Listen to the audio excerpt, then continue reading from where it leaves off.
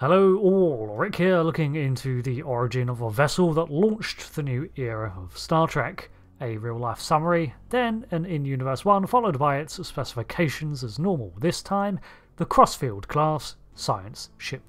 So, the real world origin of the Crossfield class was as the poster vessel for Star Trek Discovery, and as such, the decision was made to look back into Star Trek's history of design to create a new vessel. However, Bryan Fuller had also made the decision to radically distinguish the show from anything seen before, as the plan was to create a vision of the future, not a recreation of the original series. Additionally, the original premise of Discovery would have been more akin to a spycraft series, so the vessel's design was informed by this too. Ralph McQuarrie and Ken Adams designed a concept for the Enterprise for a film that never was The Planet of the Titans. This concept was never used, but the original design for the Discovery bore a stronger resemblance to this. However, this design too was scrapped and retooled into the design we see on the screens. The initial ideas for the design included the notion of moving parts and various proportional alterations to distinguish it from classic Starship profiles, like the list of enterprises. Further inspiration was drawn from the 70s era ship designs rather than the original series ones, and other inspirations included gyroscopic space stations, the Klingon D7, okay then, and the XB 70 Valkyrie, which I totally see. The final design is attributed to John Eaves, who originally wanted to colour the Discovery a cross between NX-01 bare metal and the original series paint schemes, but this was later changed to gold and bronze to distinguish it, along with the early added mandates from above that under no circumstances was it to use round nacelles. In universe, the Crossfield class was designed from the start to complement the fleet by being able to take Starfleet's scientific mandates to the stars. All vessels had a science department, of course, and even ships like the Constitution class had state of the art facilities. But the Crossfield was envisioned early on to focus down on just this element and take it to its extreme. It was not going to be a particularly fast vessel, nor a reserved one. However, during its design phase, Starfleet found itself at war with the Klingon Empire, and this drastically changed the trajectory for this class. The initial crossfields were penned to be the USS Glenn, NCC 1030, and USS Discovery, NCC 1031, but the research of Paul Stamets and Justin Straal changed the design. The desire to focus on the spore drive, a potential faster than warp alternative, meant that large parts of the superstructure were adapted for this theoretical drive in the final years of its development.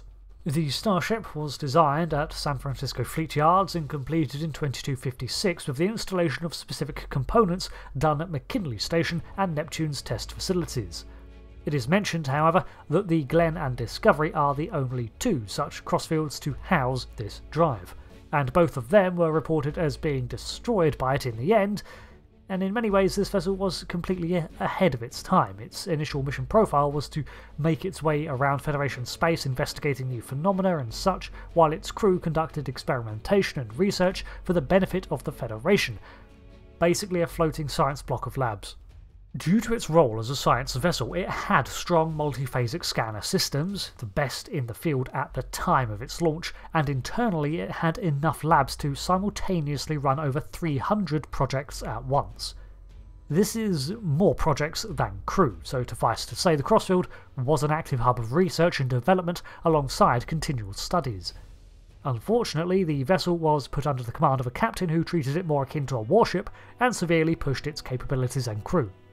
The vessel housed a state-of-the-art duotronic computer core with massive amounts of data storage, meaning it could maintain an extensive onboard library of information beyond that of a standard Starfleet vessel. In many areas of the ship, too, there were installed holoprojectors, which were also rather ahead of its time, and the technology was not faultless.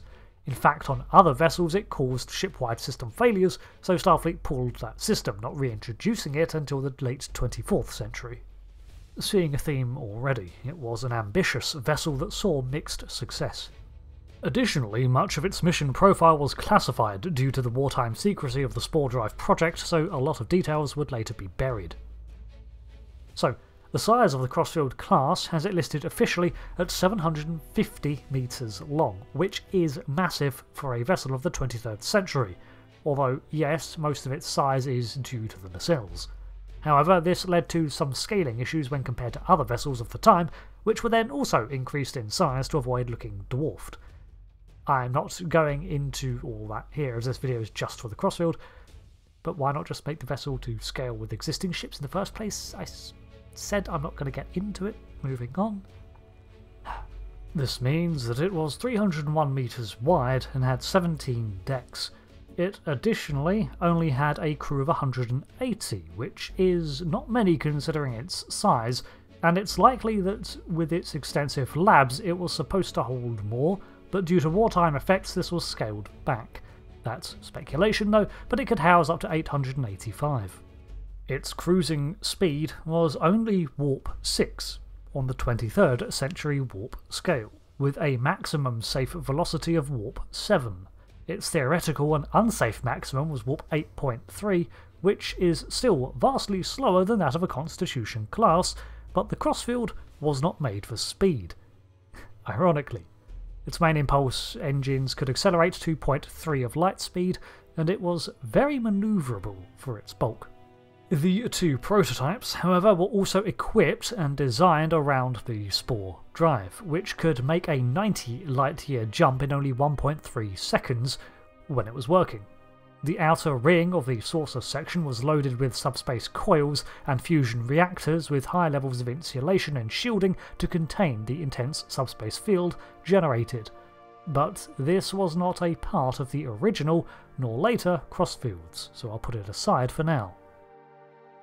Armament wise, the Crossfield class was outfitted with 14 phaser arrays, each placement being two dual ball turrets, and it had three photon torpedo launchers, two saucer mounted fore and one aft. However, we also see some things launched from the nacelles and under the hull, but I think this is just a gaff. The vessel was not made for combat, but was capable of defending itself and had very powerful shields, enabling it to weather many hits. Creative usage of a Crossfield's other scientific projects, however, could bolster any offensive capability.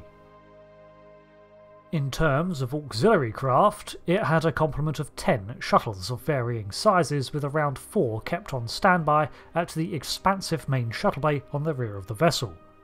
This many ships made it a good hub of activity when setting into a system for the first time, but the addition of the Spore Drive also kind of stands in opposition to this role more ammunition for the idea that the crossfield was defined and existed before the drive was added, which is also the case in many apocryphal materials such as the Star Trek Adventures sourcebooks.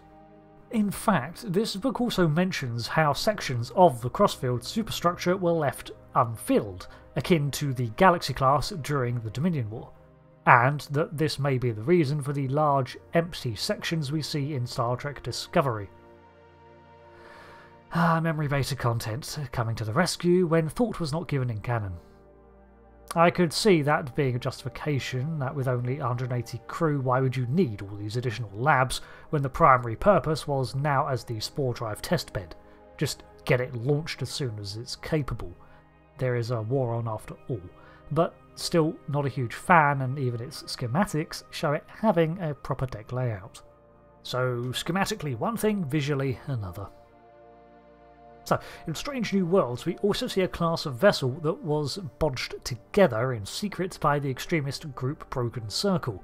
This vessel was identified as a Crossfield class, but that was an assumption based on visual inspection and it was constructed on debris from Starfleet and other vessels. However, the saucer did bear a resemblance to the Crossfield class, but it was slightly different. Now, the superstructure of the prototypes actually included a rotational area that needed to spool up for a spore drive jump, and as part of that system, it's possible that this was removed or not a part of the original Crossfield design, hence the alternate design here. In the 32nd century, there is also a new Crossfield design. However, this was formed from the bones of the original Crossfield class getting an extensive overhaul, so it's currently unclear if this is a one off or that this will become a new class of vessel, so for now, it's just a unique variation that I'll treat as a separate entity. I try to keep my personal opinion out of videos when it comes to recounting lore, but the Crossfield class feels so.